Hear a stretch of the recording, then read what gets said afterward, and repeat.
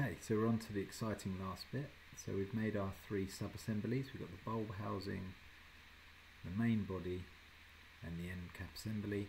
And I've just made one which I've called complete assembly. You can obviously call it whatever you like. Now, just before we add anything into here, we just need to check a couple of things.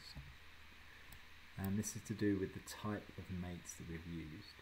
Now, this part will probably have been fixed in yours. So if you tried to grab that and move it around, you can see it's got the little red cross. So I'm going to unfix that part and I just want to test moving and check that the sub-assembly moves together. And you can see, although the spring stays level, it doesn't actually move with the part. However, the rubber seal does. So I'm just going to undo that so everything lines back up. And that's to do with the type of mate that I've used. Now, as I try and think ahead, I try to think through as much as I can to make your lives a little bit easier, but this is something that is a bit of an oversight. So, but the good thing about this is we can go back and we can edit things as we have been doing for the last few stages. So if I double click on the plan mate, we can see that I set the z-axis to minus 0.75 but here we've got a drop down. If I click fastened it should keep the z-axis is minus 0.75 but as it doesn't you're going to need to re-enter that so that the part stays where we want it. If I then tick that and then I move it around we can see that the whole thing moves together which is great. You might ask why the slider mate didn't move and the reason for that is that the slider mate was constrained in two directions. Now if I change this for example for zero you can see that that actually moves back and forward through the part. Now if I go back into that slider mate and I set to 9 then it can't actually move anywhere because I've constrained it. Can't go up or down because it's set to 9 millimeters. So we just need to do the same with the main body and we can see we've got a planar mate here which means it will stay on the same plane. So if I drag it we can see it stays on the same plane. Now this, you might ask yourself why would the program do this but if I needed a part slid up and down in an assembly because you can build moving parts into these assemblies and this is a really useful thing. So let's just undo that. And again just remembering 17.18 just in case we need to move that part again. And we're just going to change this from planar to fastened. It kept that for me which it doesn't always do. And now when I move it around it should stay in the same place. So I'm going to go into my complete assembly. I'm going to insert and I'm going to go onto assemblies and insert my bulb housing. I'm also going to insert my main body. I can tick that and I can set a planar mate or I could set it as a fastened if I want to which is what I'm going to do I'm going to grab the top of this part here and I'm going to grab the underneath of the part. There. And then I'm going to tick that. Now we can see let's just make it translucent. I've actually selected the wrong part so let's just quickly undo that. So undo that fasten grab it again and we want the top of that to actually sit there. That should be a bit better. There we go. But I've actually still made a mistake here. And what we can see is the mistake is this seal here is designed to seal against this side here.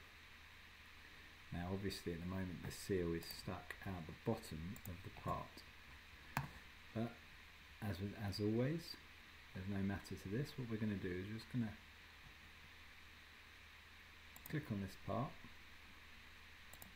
just find it here, double click, and that's now going to allow me to edit in context. And I'm going to look at my sketch one. So this is the revolve we did to make bulb housing.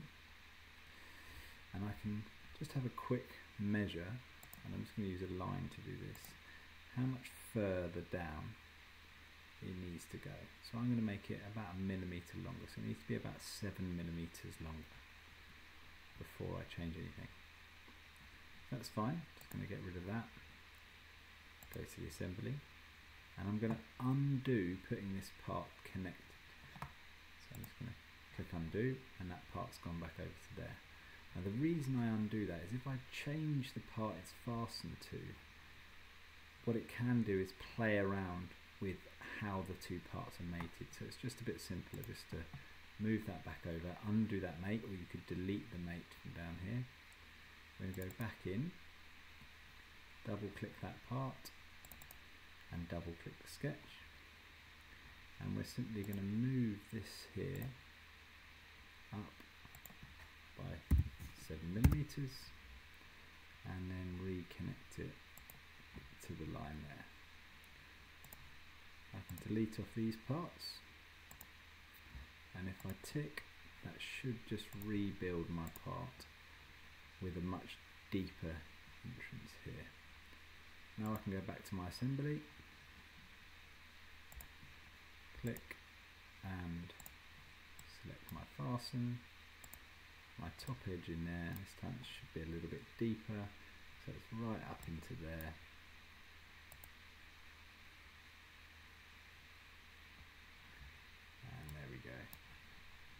that. Okay, so now my seal's actually inside the part as it should be. I can go on to translucent and I can just have a look where my seal is. Now we can actually see that the seal goes across both parts here. But for this particular seal, because it's made of rubber, it would actually squeeze and fill this gap as it goes in. So I'm actually going to leave that one as it is. I can also see this all sits in present and correct. So I can go back to being shaded and then I can insert my last assembly or my sub assembly sorry which is the end cap. Again because we've made everything locate together I should be able to move that around no problems. And this one here is this edge needs to meet that edge there. So I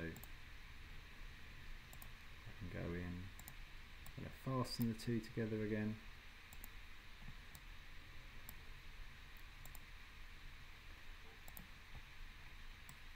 And there we go.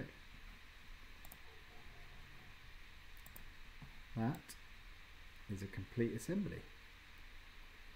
Put all of our parts together and if we've done it and we're translucent we should see that all of our parts fit all in the correct space. Now it looks a little bit like I've noticed just by making that edit we've got a slight crossover here so I'll leave you to just remove a small section of where the bulb sits into here.